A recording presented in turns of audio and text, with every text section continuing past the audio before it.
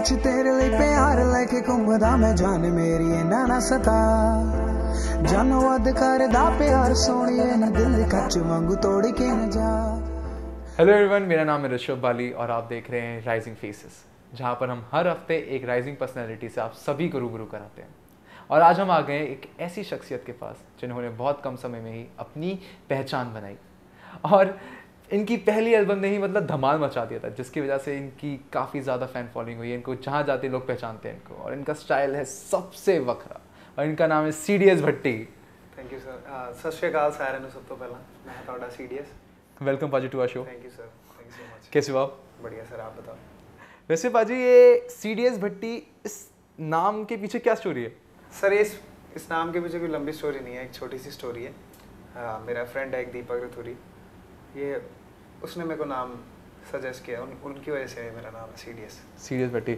और इसका मतलब कुछ मीनिंग है सी डी एस का सी डी एस भट्टी में? सर ये मेरे नाम ही है सी डी एस भट्टी इसका कोई मीनिंग नहीं है। तो फिर क्या नाम है? नाम सर मैं बताऊँगा नहीं आपको एक्चुअली ये मैं चाहता हूँ ये एक थोड़े टाइम बाद डिस्क्लोज किया जाए। अच्छा तो अभी आप इसको सीक्रेट रखना चाहते हो? सीक्रेट रखना चाहता हूँ। ओके पाजी आपकी लाइफ में म्यूज़िक कैसे आया? सर म्यूज़िक मेरी लाइफ में बचपन से है एक्चुअली मैं आपको बताना चाहूँगा मैं सिक्स क्लास से गाने लिख रहा हूँ। सिक्स क्लास में था जब से मैं अपने गाने लिख रहा हूँ खुद ही जितने भी गाने होते हैं मेरे खुद के लिखे होते हैं। सारे के सारे? जी सर सारे। जीना मैं जीना तेरे नाम मरना मैं मरना तेरे नाम।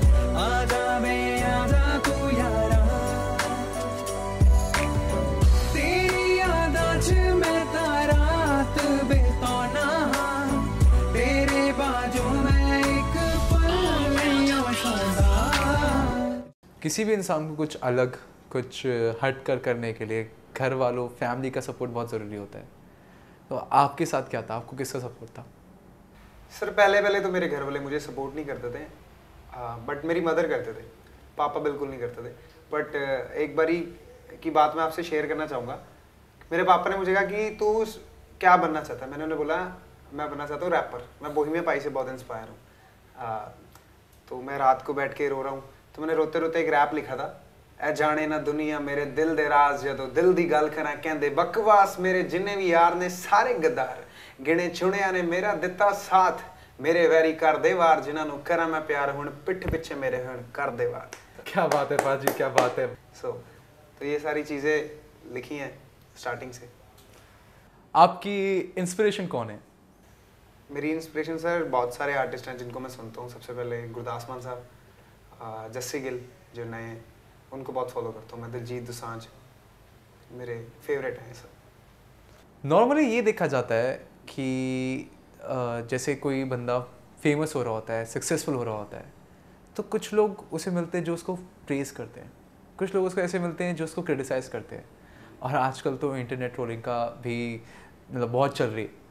तो ऐसी सिचुएशन से आप खुद को कैसे दूर रखते हो, कैसे टैकल करते हो? सर मेरे को लगता है हर चीज़ लाइफ में होनी ज़रूरी है। प्यार करने वाले भी ज़रूरी है नापसंद भी ज़रूरी है। जब तक आपको कोई नापसंद नहीं करेगा आप उस चीज़ को कैसे फेस करोगे वो बहुत ज़रूरी बात है। उसको पॉजिटिव लेना चाहिए मेरे हिसाब से कि वो आप उन्हें करके दिखाओ कि वो मजबूर हो जाए आपको पसंद करने में। तो मतलब आप इन सब चीज़ों से सीख लेते हो हाँ सीखते हो? मैं सीखता हूँ उन चीज़ों से मैं परेशान नहीं होता कभी। पाजी यू बिलीव इन व्यूज़ और quality sir obvious quality quality views से हो या ना हो इतना फ़र्क नहीं पड़ता। जी सर. अगर काम अच्छा करेंगे तो मेरे ख्याल से व्यूज़ भी अपने आएँगे। पाजी आजकल जितने भी सिंगर्स हैं वो मूवीज़ ही कर रहे हैं और सिंगिंग भी कर रहे हैं। तो आपका कुछ प्लान है लाइक like, आगे मूवीज़ में फ्यूचर प्लान कुछ आने का?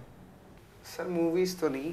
पहले मैं चाहता हूँ अपने सिंगिंग का लेवल और ज़्यादा अच्छा सीखना सीख के और ज़्यादा सीखना चाहता हूँ। मेरे को एक्टिंग का बिल्कुल भी मुझे नहीं लगता मैं करूँगा लाइफ में।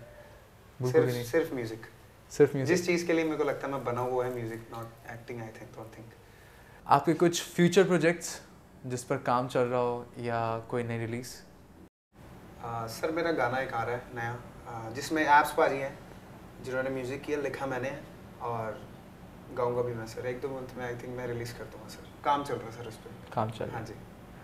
पाजी आप कितने टाइम से शोज़ कर रहे हो? सर मैंने काफ़ी शोज़ किए हैं कॉलेजेस में ऑडिटोरियम्स में एंड क्लब्स में काफ़ी सारे शोज़ किए मैंने। पहला शो कब किया था? पहला शो सर मैंने काफ़ी टाइम पहले स्टार्ट कर दिया था। मैं लाइक 14 इयर्स ओल्ड का था तब मैंने पहला शो आई थिंक मैंने मुझे याद है मैंने तब किया पाजी गाना गाने में मज़ा आता है या उसको लिखने में उसके बोल लिखने में? सर एक्चुअली लिखना सबसे पहले है क्योंकि जब एक राइटर लिखता है मेरे ख्याल से मैं जो गान जितने भी मैंने गाने लिखे जब मेरे दिल पे कोई चीज़ लगती है तो मैं गाना लिखता हूँ।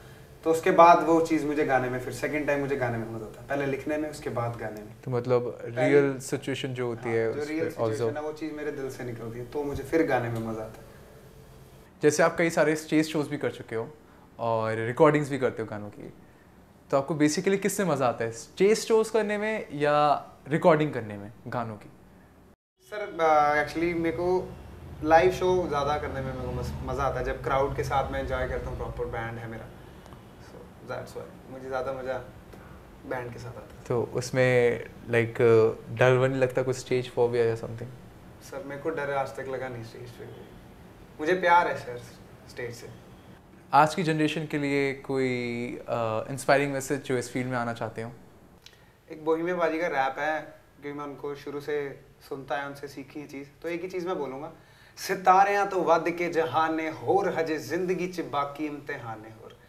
कि सितारों से आगे भी जहान है तो अभी इम्तिहान लाइफ में चलते रहने कभी भी सीखते रहना चाहिए लाइफ में सीखते। रहना हाँ जी। तो मतलब आप यही चाहोगे कि दूसरों को बोलना कि सीखते रहो सीखते रहो कभी भी हार मत मानो किसी भी चीज़ से। थैंक यू सो मच पाजी आपने अपने बिज़ी शेड्यूल से हमारे लिए टाइम निकाला और हमें अपने बारे में बताया। एक रिक्वेस्ट है पाजी। अब एक गाना हो जाए हमारे लिए और हमारे व्यूअर्स के लिए जी ज़रूर ये मैं आपको अखियाँ गाना सुनाऊंगा जो मेरा लिखा हुआ गाना है आ, जिससे मेरी पहचान है एक्चुअली सो आई होप आप सबको अच्छा लगेगा ओ अखियाँ च तेरे लिए प्यार लेके घूमदा मैं जान मेरी ये नाना सता ਜਾਨੋ ਅਧਿਕਾਰ ਦਾ ਪਿਆਰ ਸੋਹਣੀਏ ਨੀ ਦਿਲ ਕੱਚ ਵਾਂਗੂ ਤੋੜ ਕੇ ਨਾ ਜਾ अखियाँ च तेरे लिए प्यार लेके घूमदा मैं जान मेरी है ना ना सता जानो वादे करदा प्यार सोनिए ने दिल काच वांगू तोड़ के न जा। थैंक यू सो मच क्या बात है पाजी क्या बात है। बड़ा मज़ा आया आपसे बात कर कर। मुझे भी बहुत मज़ा आया सर आपसे बात करके। थैंक यू पाजी। और आप बने रहें हमारे साथ और देखते रहें राइजिंग फेसेस और अपने सपनों को सच करने के लिए उन पर काम करते रहें।